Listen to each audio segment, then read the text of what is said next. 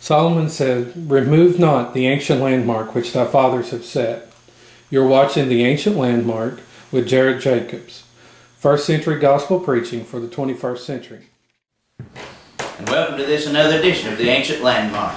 My name is Jarrod Jacobs, I'm so thankful to be with you. So thankful for this opportunity that we have to open up God's Word and to study together.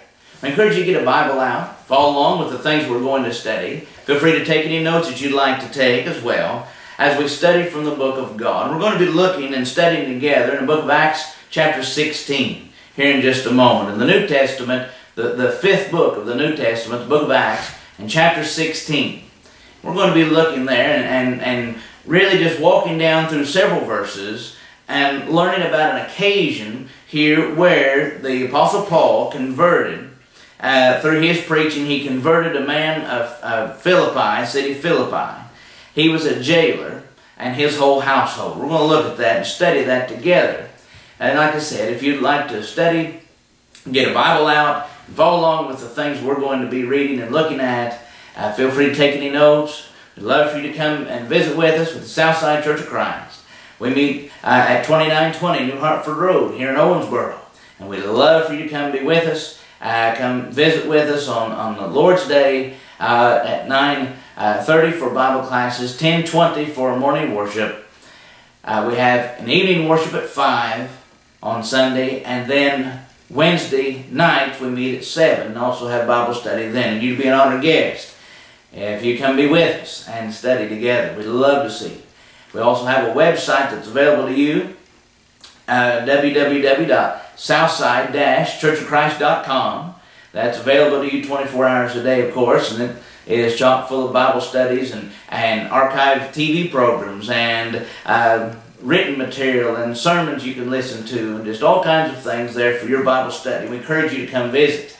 And, there's contact information there. And you can write to us. You can send us emails and what have you. Ask your Bible questions. And we can study the Bible, certainly.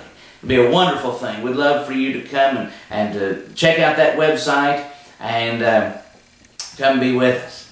Uh, in addition to that, we have a website that's dedicated to these television programs.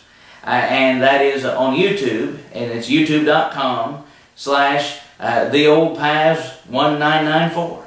And if you go there to YouTube and look us up, there's an entire page just dedicated to these programs uh, archive programs of Bible study and the hopes of helping folks uh, get from earth to heaven. So what I'd like for us to do in our study this time is look at Acts chapter 16 and there begin to study. And really the section that we're going to be reading uh, begins about verse uh, 16 and goes down to about verse 31 or so.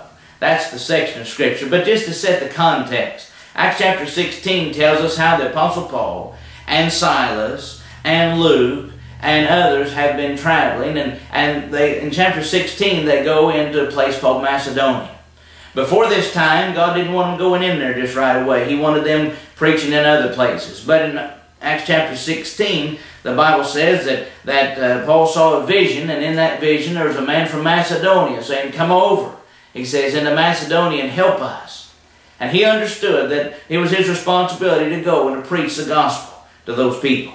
So having arrived in Philippi, the Bible says uh, that as they get there, they meet uh, some ladies there that were by the river, gathered by the river, and were praying to God.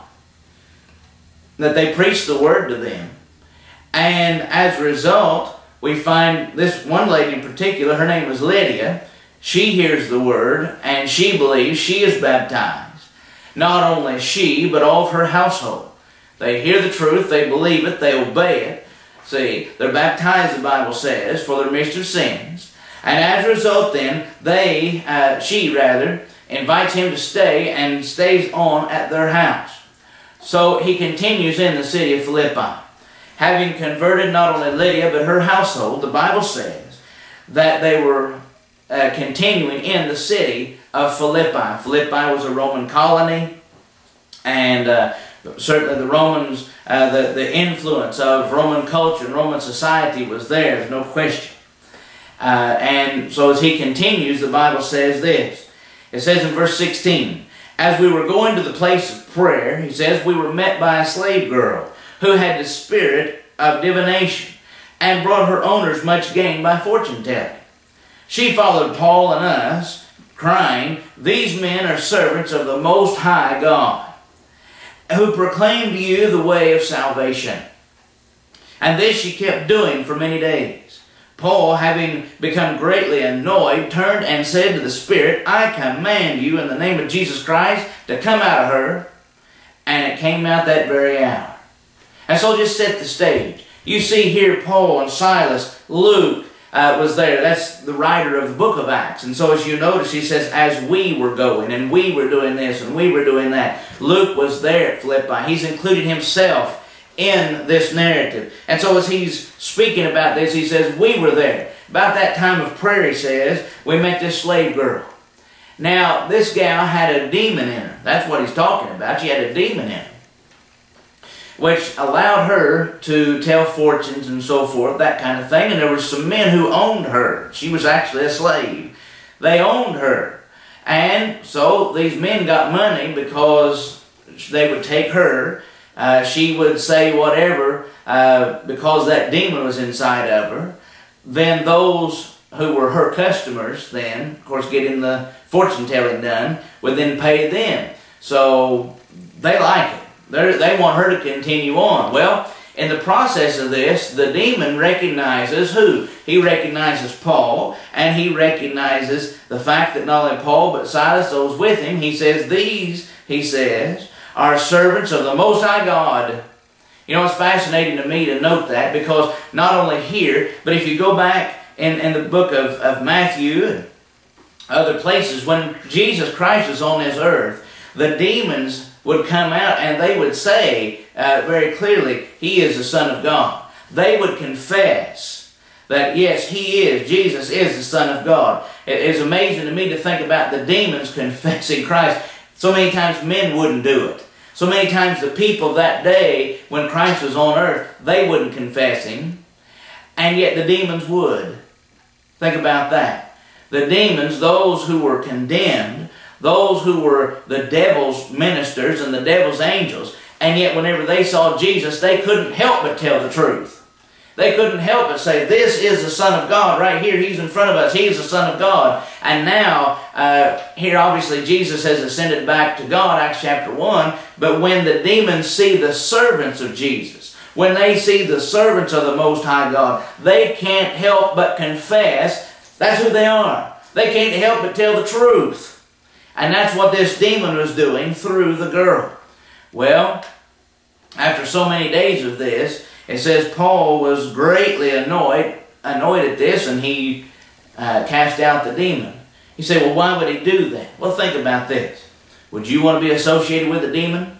Would you want to be associated with a demon-possessed person if you lived in that time period? And here you are trying to preach the truth, and you're trying to tell people what is right, and tell people about the Lord, and, and convict them, and convert them to God. And all the time you got this little fortune teller girl running up going, yeah, they're right, they're right, yeah, they're the ones. Yeah, you don't want that, do you? You don't want to be associated with that demon-possessed girl. I mean, the demon is evil. The demon is wicked. And so you certainly don't want to be associated with the fortune tellers and the charlatans and those who are just out to get money. And so he cast the demon out. Well, good for the girl, bad for them. And I say that from the standpoint of physically. Watch what happens. In the book of Acts chapter 16, when the owners saw that their hope of gain was gone, when they realized it was gone, they seized Paul and Silas and dragged them into the marketplace before the rulers. In other words, before the authorities. They're dragging them out before them, before the authorities who, who would be able to do something about these men. Of course, why, why, did, why were they so upset? Were they bothered by this? Were they upset at the preaching as such? Were they mad because they thought Paul and Silas told false doctrine? No. Look at what he says. When they realized their hope of gain was gone. That was the problem. When they realized he just cast out the demon, and that means that girl is no good to us anymore. We can't use her for money-making uh, projects and all that. We can't use her to give us money. We can't do it. Then they got upset. These men were not concerned about her welfare. These men were not concerned about, hey, we've got this girl and she's possessed. They weren't concerned about that. They didn't care. When they realized all hope of gain was gone, then they got upset. Folks, it's the same way today. There are people today who will use you. There are people who will uh, take advantage of you. They will, they will do that in the hopes of gaining something from you. You know that? They will do it. It goes on. It happens every day. You can look back even in your Bibles in the book of Luke chapter 15. In Luke chapter 15, when the prodigal son, you remember, takes his father's money, he goes into a far country, and they're wasted. He had, as it were, he had friends, he had all this, but he wasted. And then the Bible says he had all his money was gone, and no man gave to him. Nobody would give to him. Nobody uh, cared for him. Nobody was concerned about him. And so he goes, and as we would say today, he hits rock bottom.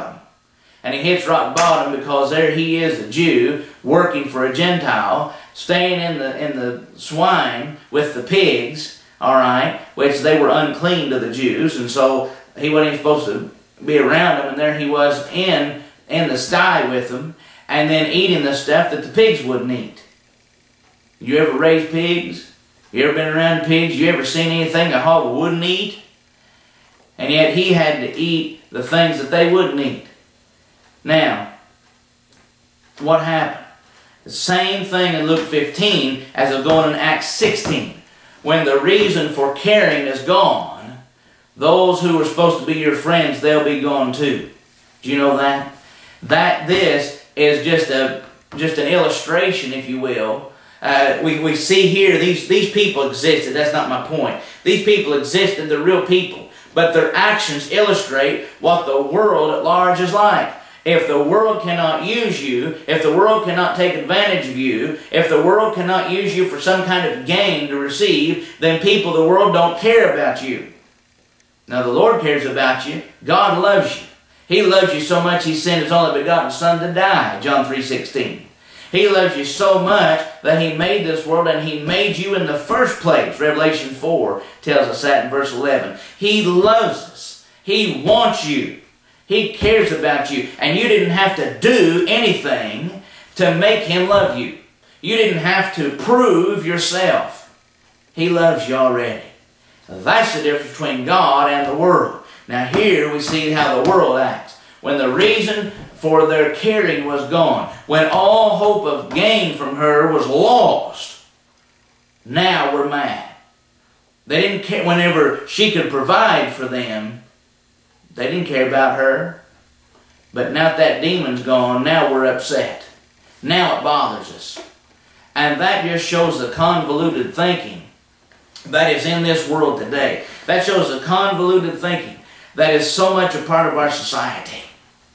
And it's tragic, it's terrible that we wouldn't be like that, uh, that we would be like that rather than being as the Lord wants us. Jesus said in the book of Matthew chapter 22 and verse 39 that, that the second commandment was to love thy neighbor as thyself.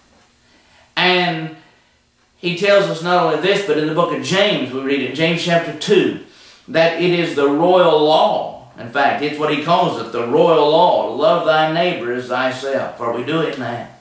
Do we truly love our neighbor as ourselves? These men weren't. These men weren't acting that way at all.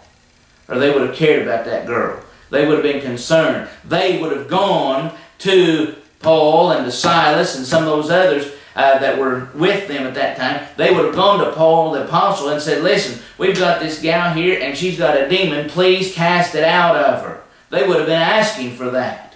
Just like folks did in the when Christ was on earth. And the people would come to him and they would say, So and so has a demon. Would you please cast it out of him? And Jesus would cast the demons out. Those people, and I agree not everyone was like that, but there were people in Christ's day that were like that because they loved their brother, sister, they loved whoever it was, and they wanted that demon out of them. Same thing here in Acts 16.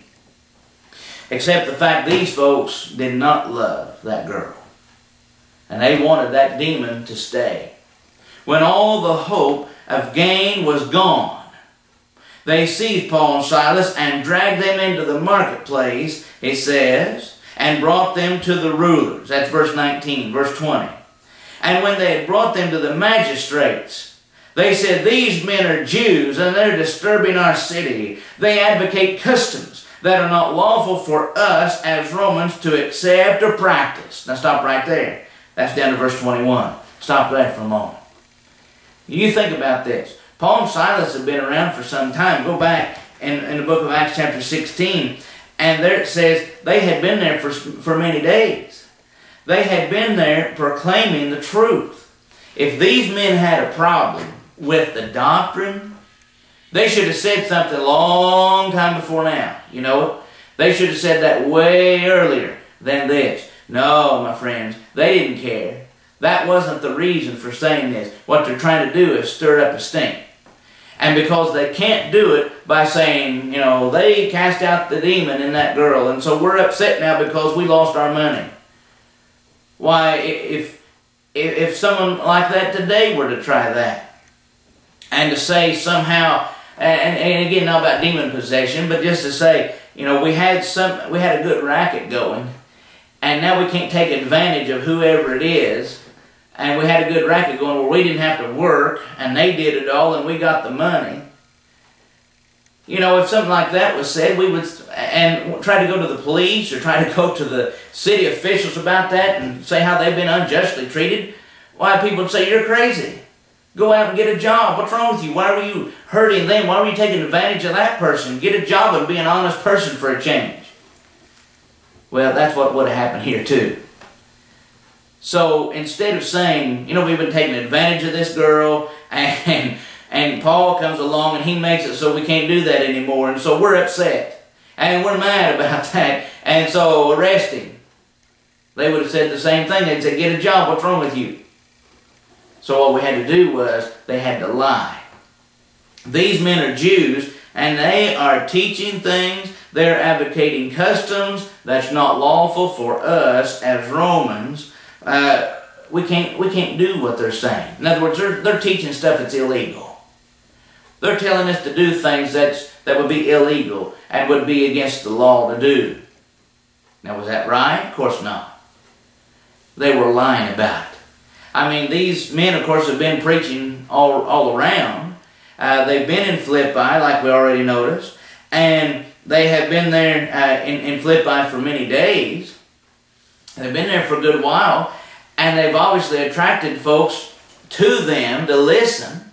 They've converted the whole household of Lydia, and no doubt they have continued in, in speaking and telling folks and, and, and getting an interest in the truth. See that? It's the difference between true and false. And what's sad is whenever people cannot Whenever people realize they are confronted with sin and they realize that they are in a corner, you might say, they'll do anything they can to get out of it, including lie. They'll do anything to make sure they're not the ones that look bad. Does that ever happen to you? Have you ever lied about something or somebody because really you realize the guilt of your own sin, but instead of just admitting to it, instead of just being honest and saying, you know, I did it, instead of doing that, you turn around and say, well, what about them? What about what they did? What about, what about how they acted? Could that be you? Could that be me? Could I be guilty of the very same thing? They said they're, they're teaching us to do illegal things. It wasn't illegal. It wasn't illegal to, to be baptized. It wasn't illegal to believe on Christ.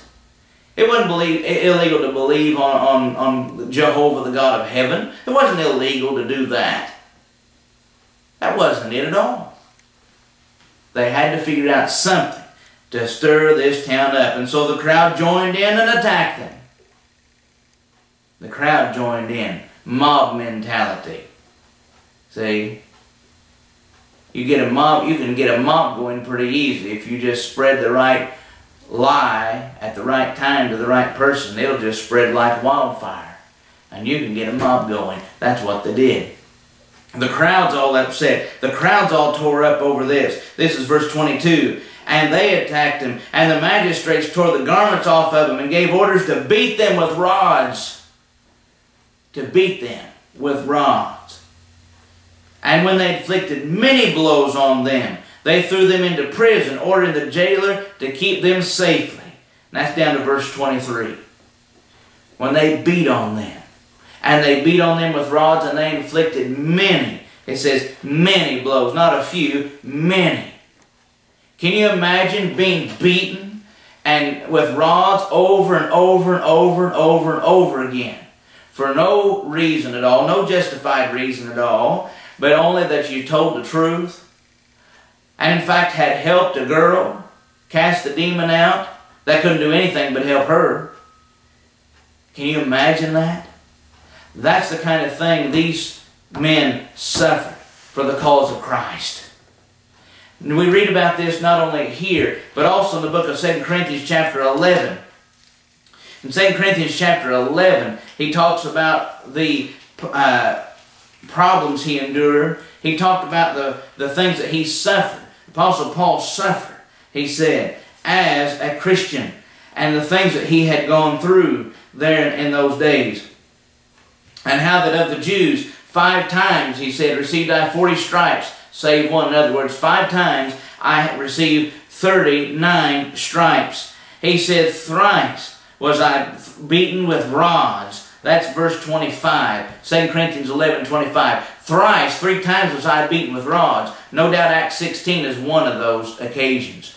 He's beaten with rods. They take rods, um, and just as was described here, they're taking a rod and taking it and beating it on their bare backs. And beating and whipping and whipping and, and smacking them with this rod. Literally, till the skin breaks, till they're bleeding, till uh, just extreme, extreme pain. Now, like we noticed here in 2 Corinthians 11, what we noticed here was that of the Jews, five times received I 40 stripes save one. They had, in other words, 39 stripes. I got 39 from them. See, and the point was, in the Jews' custom, there was a law. They made a law that said you can't beat somebody any more than 39 times.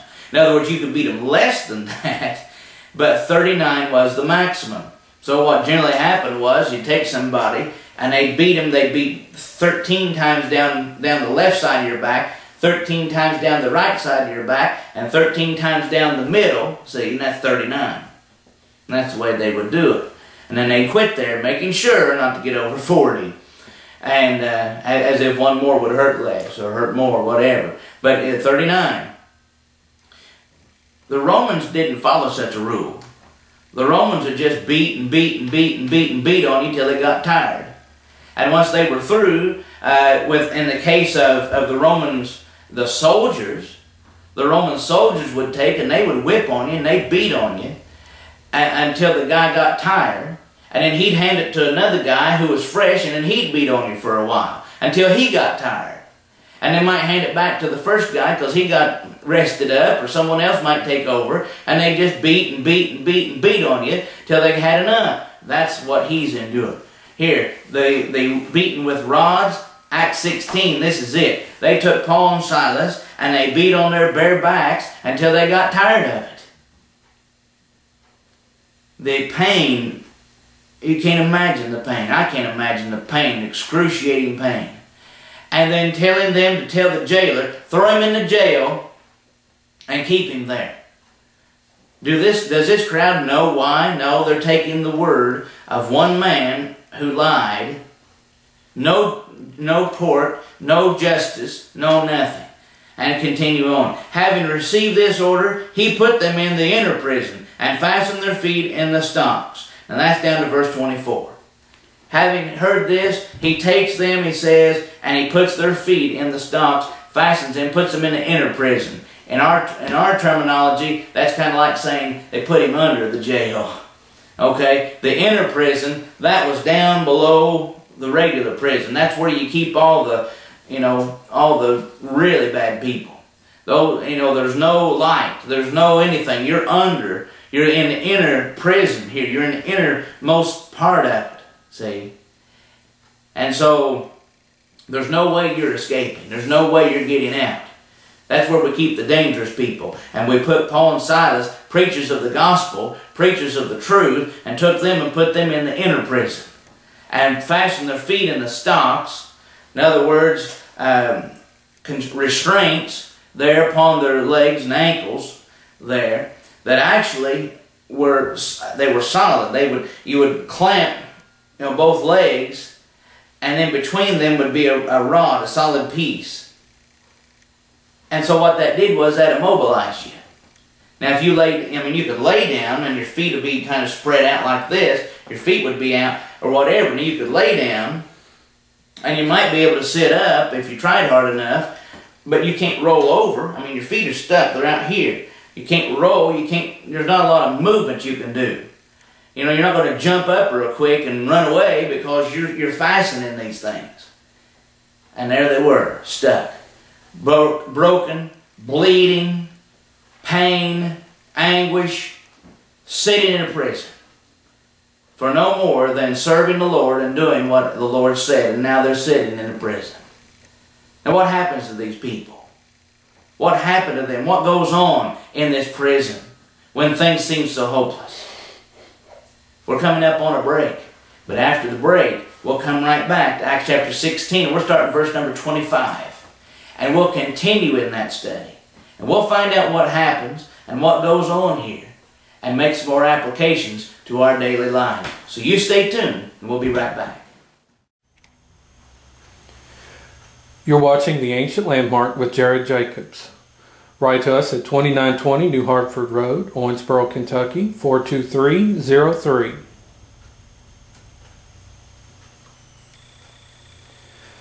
Visit us at Southside Church of Christ. Our website is www.southside-churchofchrist.com.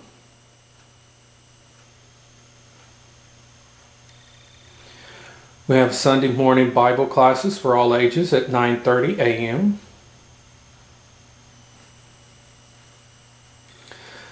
Sunday morning worship service at 10:20 a.m. and Sunday afternoon worship at 5 p.m.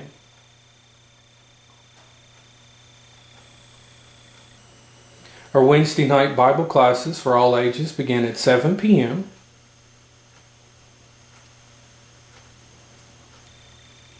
Write to us for a free correspondence course or a subscription to our teaching bulletin, The Old Paths. We invite you to tune into our radio program, What is Written, from 12:30 to 1 p.m. Sunday on WBIO 94.7 The Ancient Landmark airs daily, beginning Monday at 9 p.m., Tuesday at 1.30 p.m., Wednesday at 5 p.m., Thursday at 11 p.m., and Friday morning at 9.30.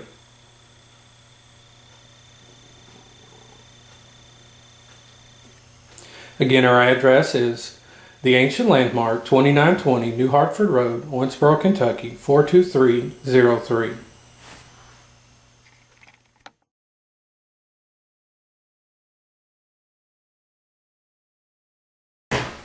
We've been asked a very interesting question. I think it's a very interesting one anyway. Uh, we've been asked the question, do, uh, do biblical artifacts have any significance today? Now I thought that quite fascinating. I suppose people think about such things as the, you know, the Ark of the Covenant. Uh, Indiana Jones went after in the movie, and, and we think about the Ark. Some people talk about uh, finding Noah's Ark, you know, even today, and folks have said they had pieces of the ark or pieces of the cross and that type of thing, which of course has been proven to be false. Uh, but someone said, well, what about biblical artifacts? What about things we could find that might, you know, be old, be from Bible days? Do they have any significance at all? I suppose if you could find something like that, not saying they don't exist, but I'm saying if you could find things like that, if you could hold on to them, if you could touch them or keep them at your house, uh, what purpose would they serve? You know, it's fascinating whenever I open the Bible and begin to read and study, I find that whenever God uh, was using something, it was, it was useful for that time, but whenever he was done, he got rid of it. Uh, the God of heaven is no pack rat. And for example, we think about the ark that Noah and his family and all the animals and so forth, and that they was used. It was useful for a time. And it said it landed there within the mountains of Ararat. But after that time, we don't read anything else about it, do we? When it came to the Ark of the Covenant, and uh, there what was used uh, in, during those days of wandering, during those days before Solomon built the temple, the tabernacle, of course, was used. Then the ark and so forth was brought into the temple after the destruction of the temple, and those the furniture, the gold, and all of that's taken away by Babylon. After that, we really don't read about the ark anymore, do we? After that, we really don't read about those things as such. What happened to them? Where, where are they? See, I don't know. What's happened to those things? We find significance placed on biblical artifacts not from God placing significance on them, but rather from man. I'll give you an example of this. In Numbers chapter 21, the Bible says that, that whenever the people were bit by the serpents, Numbers chapter 21, after their murmuring, people were bit by the serpents and they were dying. So God made a command and He said, I want you to take a, a piece of brass and make a brass serpent, put it up on a pole, and then the people can look and see the brass serpent on the pole and they will live. And that's what exactly what happened, Numbers chapter 21, from verse 1 down about verse 9. And through there you can, you can read about this. And then after the book of Numbers 21, we really don't read about it anymore. And we might think, well, it just kind of faded into obscurity. 2 Kings chapter 18 uh, tells us about it. 2 Kings chapter 18 describes for us, this is several hundred years later. Several hundred years later, and now here is Hezekiah reigning over Judah. And the Bible says in verse 4 that among other things, what he did was that he cut, uh, he says he broke in pieces the bronze serpent that Moses had made. What? See, that bronze serpent that Moses had made, evidently they'd carried that with them all around, all through these years. And now it's that Bible says they had, he took it and he uh, broke it in pieces. It says, For until this day the people of Israel had made offerings to it. And he called it Nehushtan. Now the word, word Nehushtan means nothing. It's a piece of brass. And he tells them, this is just a piece of brass. You need to get rid of this. And so they did finally in the days of Hezekiah. There is no significance to these biblical artifacts, really. And someone may say, well, I know where the Holy Grail is. Well, you might know where it is and what happened to it and so forth. And that's fine. But really, the only significance was during the time it was being used. It has no significance today. Why not? Well, among other things, God doesn't want any idols. And what would a man or a woman do had they possessed, right now, the Ark of the Covenant? or the, the breastplate that Aaron had with the Urim and the Thummim and the, and the stones and so forth. What would they do with that? Would they not turn that into an idol? Or if you could really find the Noah's Ark, or if you could really uh, know about the actual piece of wood that Christ was crucified on, would people not turn that into an idol? Absolutely. God said, Thou shalt have no other gods before me.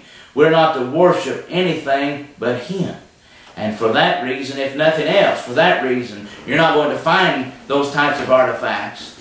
Number two, they have no significance for us today because once used, then they were put away and they had served their purpose and they're gone. Our focus needs to be on God and needs to be on serving and worshiping Him the way He directs.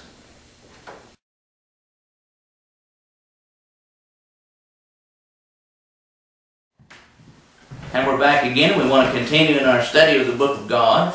We were uh, studying from Acts chapter 16. And we left off at verse 25. Noting that at this point, uh, Paul and Silas have been beaten. And they are in stocks. Their feet or the legs are fastened in the stocks. And uh, they're, they're in the inner prison. The Bible says in verse 25. They're in there, of course, because, uh, because the men lied about it and said they were teaching things that were illegal, which wasn't the case. Well, verse 25. About midnight, Paul and Silas prayed and sang praises to the Lord, and the prisoners heard them. And suddenly there was a great earthquake, so that the foundations of the prison were shaken. And immediately all the doors were open, and everyone's bands were loose. Now stop right there. That's verse down to verse uh, 27. Now notice, please, what's happened. They're in a prison, aren't they? And the Bible says at midnight, I don't know when they got into prison, but at midnight, Paul and Silas were praying and singing praises to God. And the prisoners heard them. The prisoners were listening to them. Those within that inner prison and around, they're listening. They're and Silas. I want you to think about something. One, something that, that has struck me as I think about this occasion, I think about what's going on. Remember, these people have been beaten. Paul and Silas are beaten. And again, their, their backs are bloody. Perhaps they're even sitting or, or laying down, as, as the case may be, with their feet in those stocks. Perhaps it is that they might be in the pool of their own blood. Perhaps it is they're, they're trying to, and they're so raw, their flesh and everything is so raw that even the air hurts. And here they are. And what were they doing? Were they crying out, oh, woe is me? Were they crying out, why us? Were they crying out, I hate God? Were they crying out, uh, we're innocent? Were they crying out any of those things? That might be uh, something that you and I might have said. I might be saying those things. What were they doing? He says they were praying and singing praises unto God. And the prisoners heard them. I wonder uh, here, whenever they were praying, what kind of a prayer do you pray in prison? What kind of a prayer do you pray then?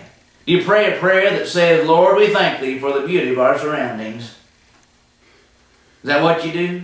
Do we say, uh, we're thankful for all, that, all that you've given to us? See that? Oh, thank you, O oh Lord, for what I have received. What do you pray then? They were praying prayers to God. And whenever you consider the fact that these were men who were doing this whenever it hurt to breathe, let alone speak and to speak out to God, they were praying to God. Might you have said uh, something like uh, Acts chapter 5?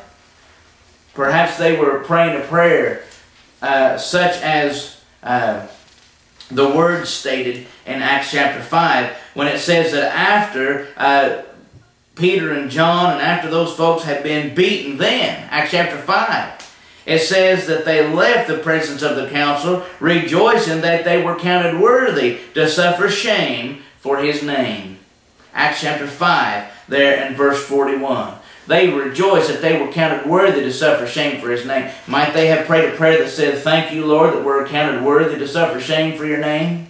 Might they have prayed a prayer that said, Lord, we recognize what you went through and what you suffered uh, there before the cross and suffered on the cross. Therefore, our suffering pales in comparison.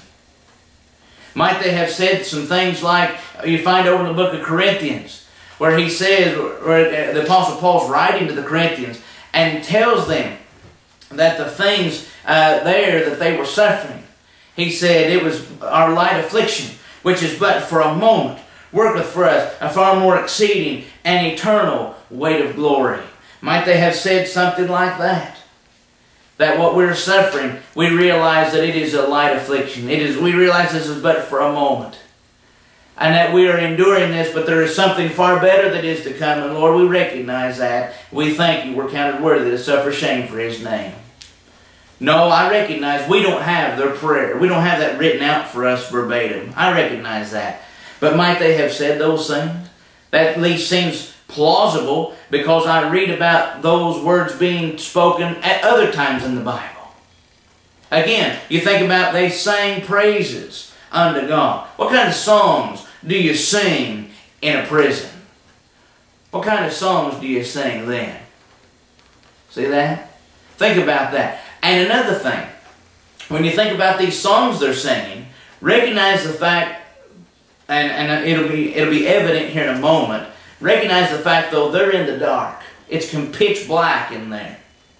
Number two, they don't have songbooks with them. Remember that. They don't have songbooks in there. They don't have a light to read by, even if they did have a songbook.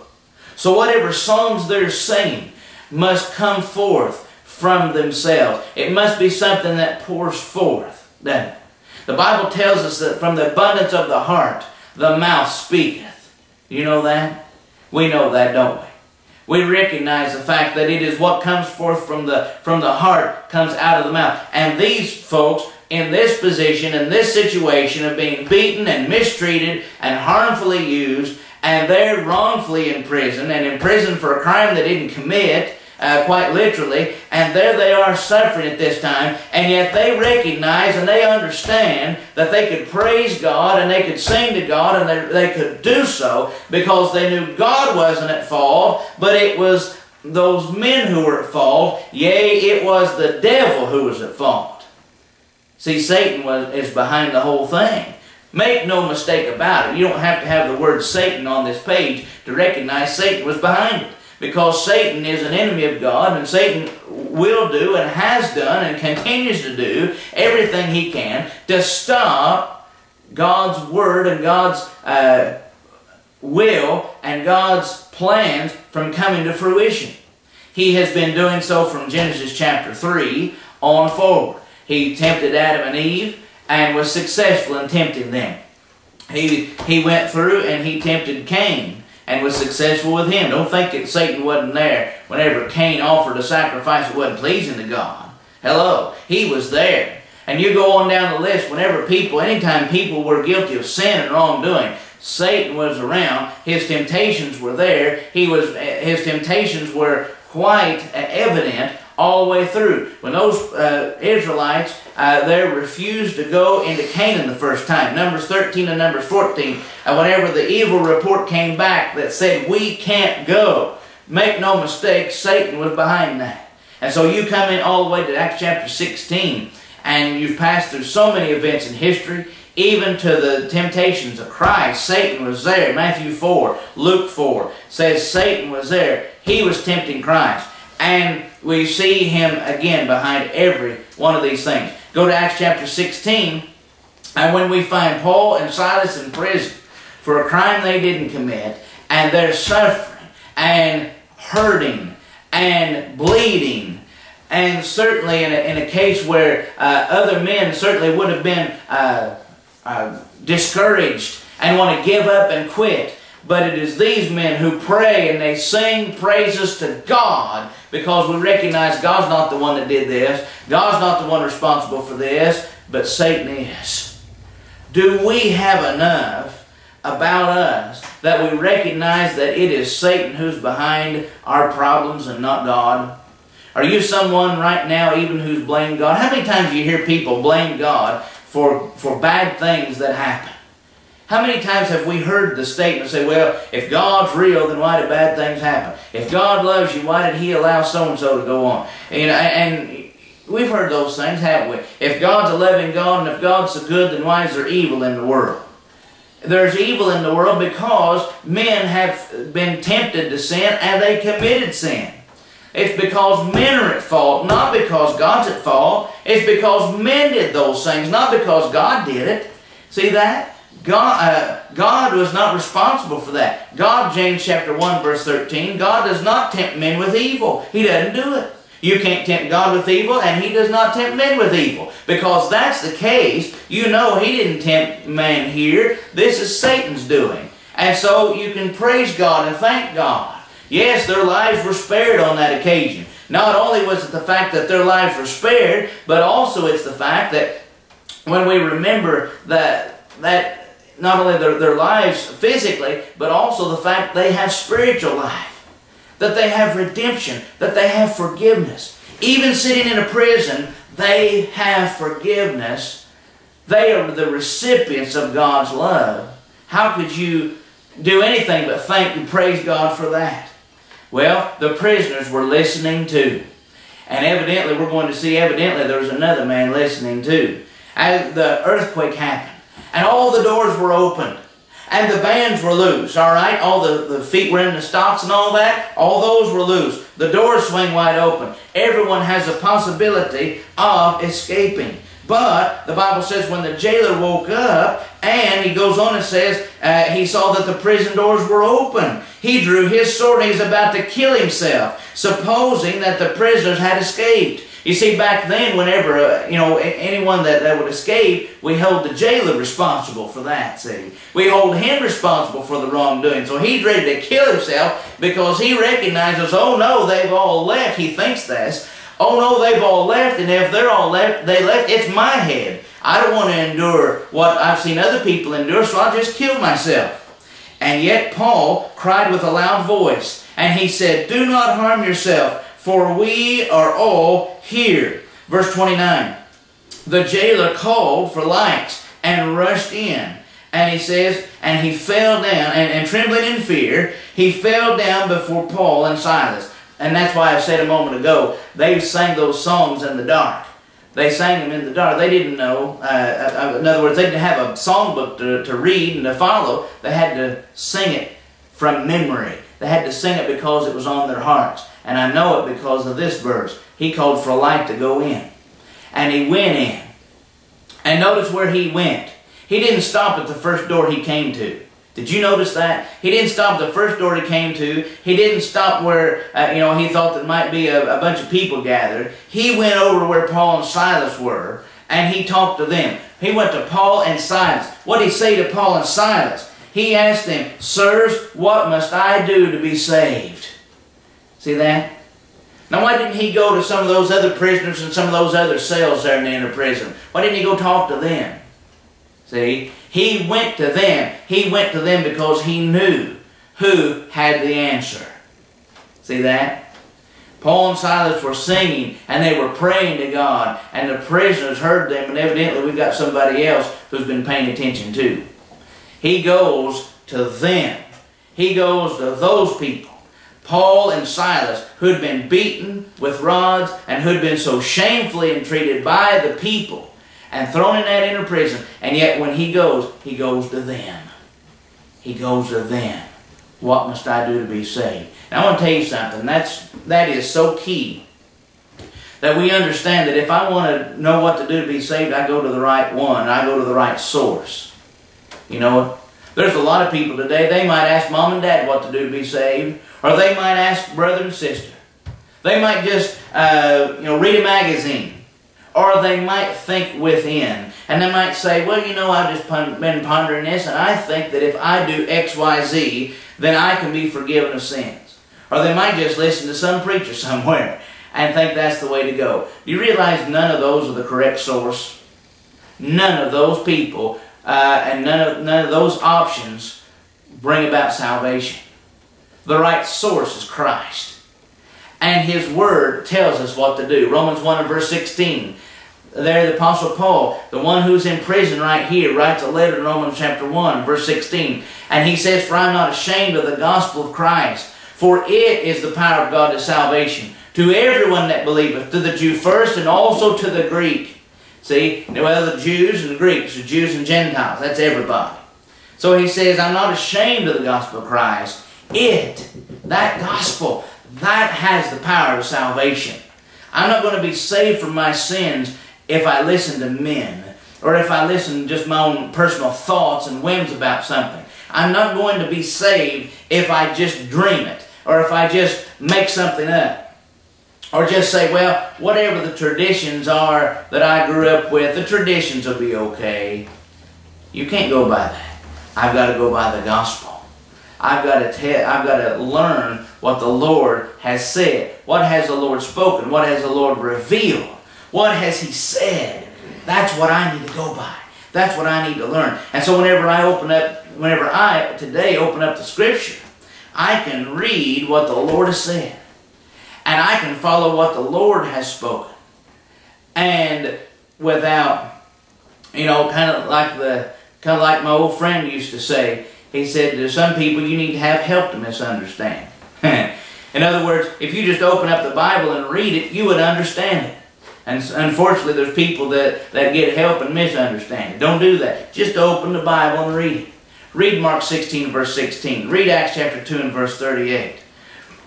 Read this scripture. We're talking about this right now. You can read along right with me. Have you noticed that, that in all this time I'm just showing you what the Bible says? We're just reading the Bible, aren't we? That's all we're doing. We're just reading what the Bible says. We're not uh, looking to a creed book or to a manual. I have not referred you to church tradition. I have not referred you to some uh, precedent, some precedent in the law or precedent among church history. Did you notice I haven't referred you to any of those things? I haven't referred you to what some man says, some smart person.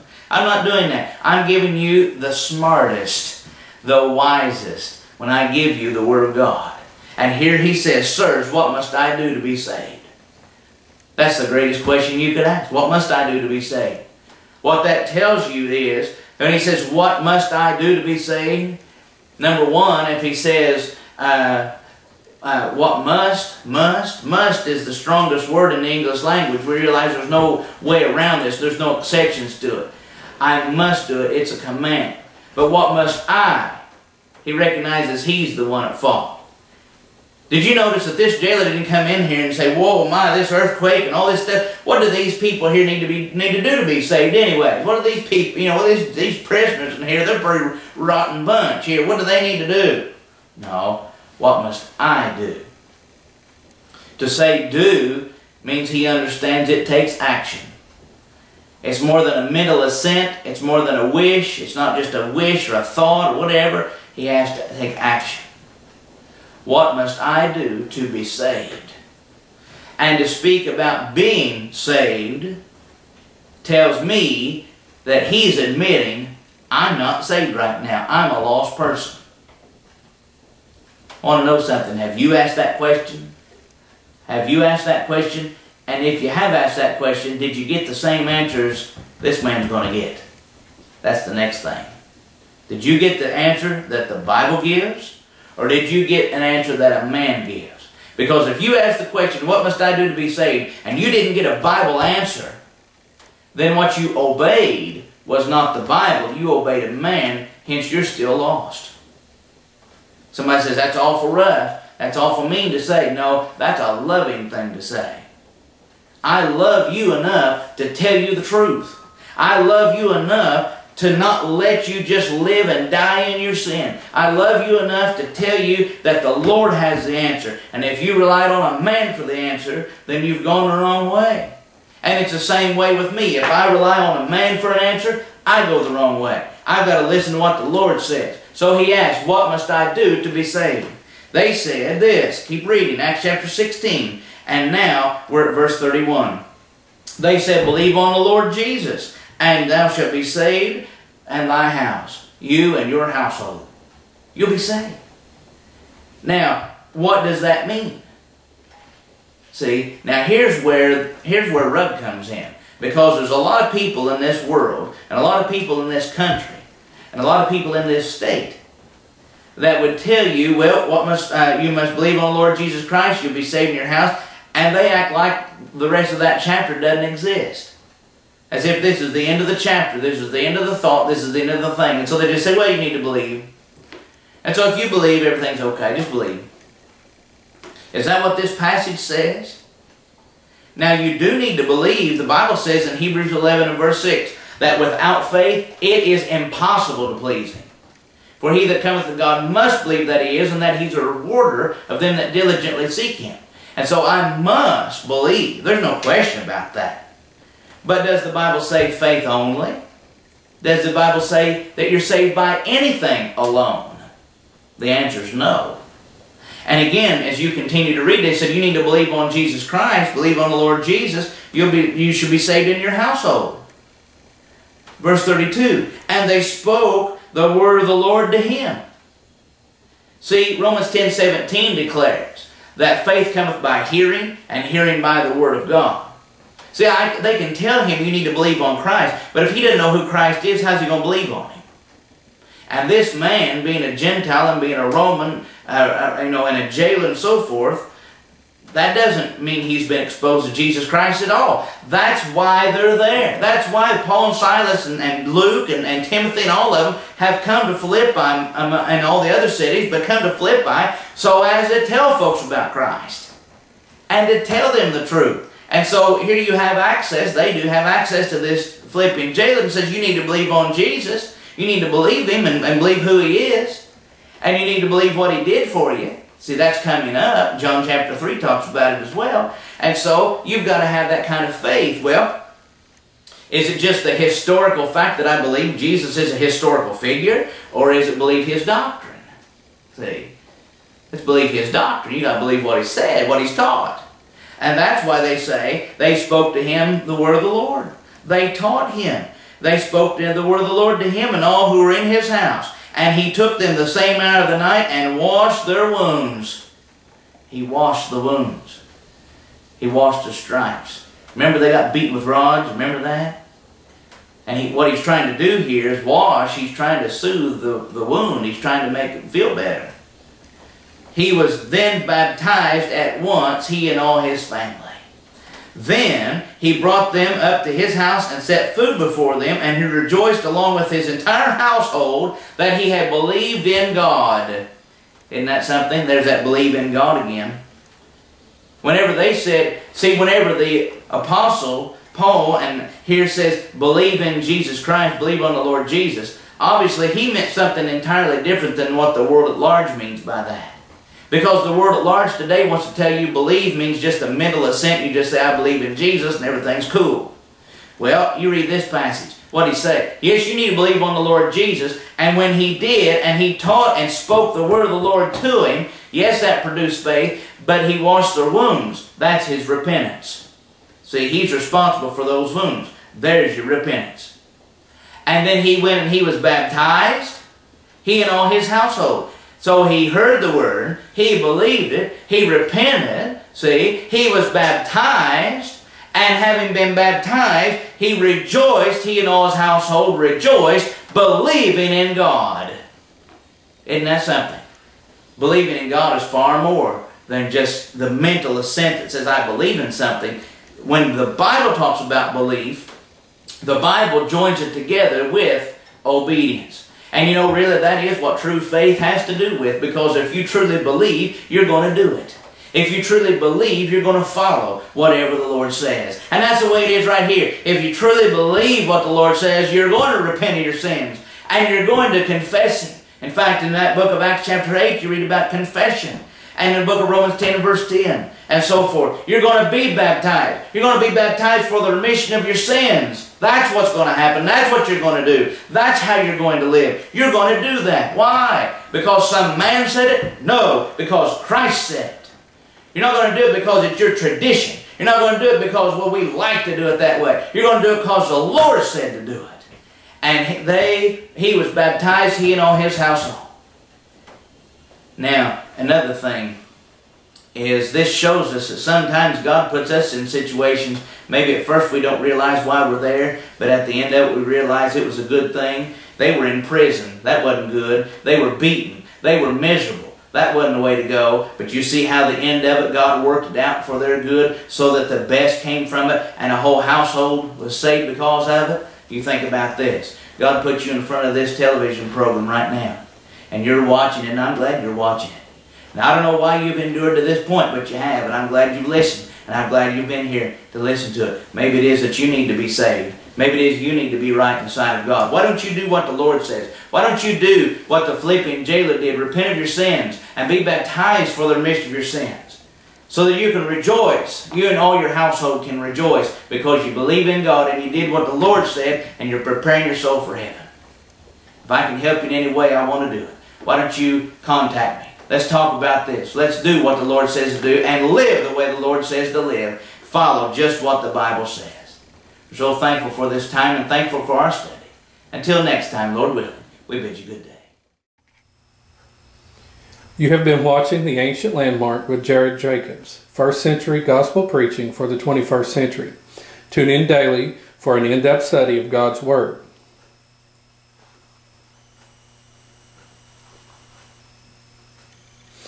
Brought to you by Southside Church of Christ.